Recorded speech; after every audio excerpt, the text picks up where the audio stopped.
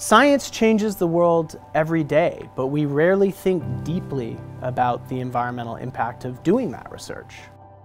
While ambitious carbon commitments are great, they need to be backed up by action. And this is really where My Green Lab comes in. We provide the tools and the frameworks and the verification that companies are truly taking action to address their overall climate goals. Scientists in scientific labs around the world face a unique dilemma. On the one hand, they're working to understand the causes and the impacts of climate change.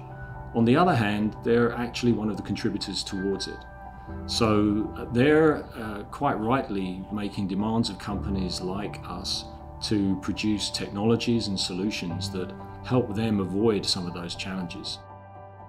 Thermo Fisher Scientific has around 80,000 colleagues spread around the world, enabling our customers to deal with some of the most complex problems that face society.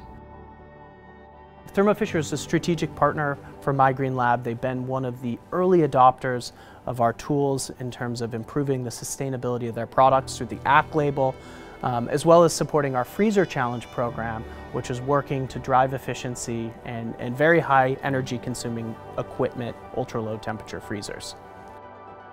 For many scientists, I think there is a very common conception that incorporating sustainability into their work is going to come at the cost of their science.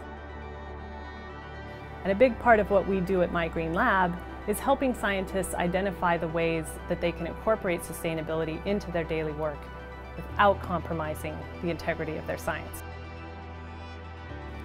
Imagine if there was a thriving culture of sustainability in every leading institution in science. That's our vision for the next decade, and we firmly believe that science can be a global leader on environmental sustainability.